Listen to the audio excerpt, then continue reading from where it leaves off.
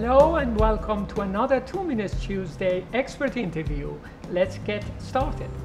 There are a lot of uh, discussions out there about the role of cells, the role of media, and the role of uh, process parameters. Right. Would you give us your, uh, your view about the importance of media in particular and its optimization in relation to these other areas, factors that are important? Yeah, so all three of these factors or categories of factors are, are critical to a successful process. And so you really can't leave one out and just focus on the others. I think all three have to be working well to have a, a well-performing process.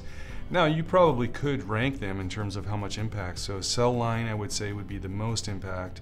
Media is arguably the second most important factor in building a successful process.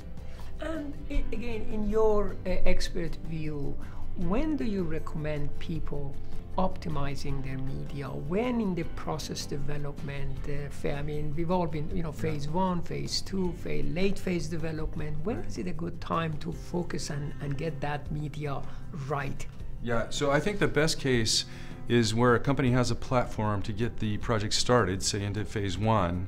But then optimization, I would say, should happen in almost every project in phase one and two, somewhere in that time frame. Usually phase three is not uh, welcome to have optimization. Usually you should have your media decided before beginning phase three. So phase one, two, I think is where that optimization can take place.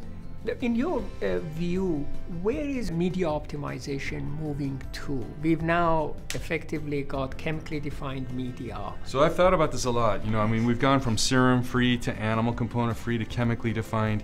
Is there a new category on the horizon? I think there's a lot of room to improve media development in terms of applying rational approaches instead of purely random approaches where you blindly select the best medium. I think we still have a lot to learn about why different changes in the formula influence the performance. Thank you for listening.